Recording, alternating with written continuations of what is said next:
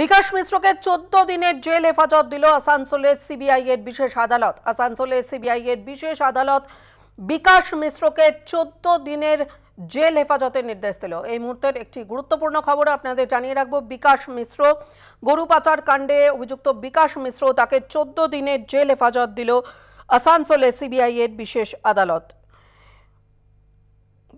আগামী বিশে মে এই মামলার পরবর্তী শুনানি। গরু পাচার কাণ্ডে অভিযুক্ত বিকাশ মিশ্রের চোদ্দ দিনের জেল হেফাজতের নির্দেশ আসানসোলের সিবিআই এর বিশেষ আদালতের এই মামলার পরবর্তী শুনানি আগামী বিশে মে।